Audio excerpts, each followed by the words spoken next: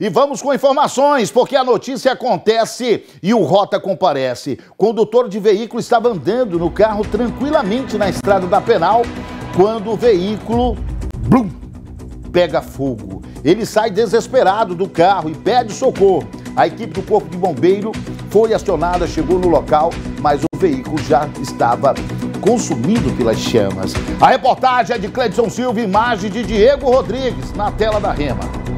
Um carro modelo EcoSport de cor vermelha foi destruído por um incêndio no final da manhã da última segunda-feira na estrada da Penal do bairro Aponian, na zona leste de Porto Velho. O motorista do veículo contou que estava indo deixar a mãe em uma parada de ônibus quando começou a sair fumaça do motor.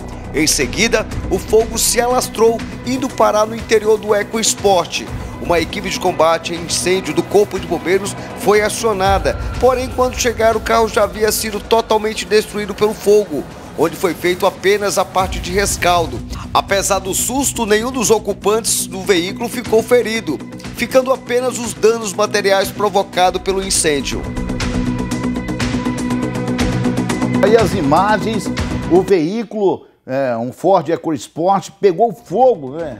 O condutor que estava indo buscar a mãe, momento em que do nada, né, uma fumaça no motor do veículo e já deu início aí no, no, incêndio. O Corpo de Bombeiros que chegou no local, mas o fogo já havia consumido o veículo. Olha aí, ó. as imagens, este sinistro que aconteceu ontem aqui na cidade de Porto Velho, ainda não se sabe é, as causas para esse acidente, para esse, esse incêndio.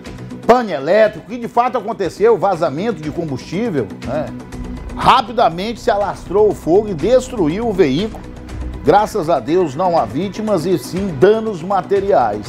Se não tiver seguro do veículo aí, meu amigo, perca total. Infelizmente, o veículo consumido aí pelas chamas, né, o fato que aconteceu ontem aqui na cidade de Porto Velho, onde o carro é destruído aí ao pegar fogo na zona leste de Porto Velho. São é, os destaques, as informações do seu programa Rota Notícias desta terça-feira.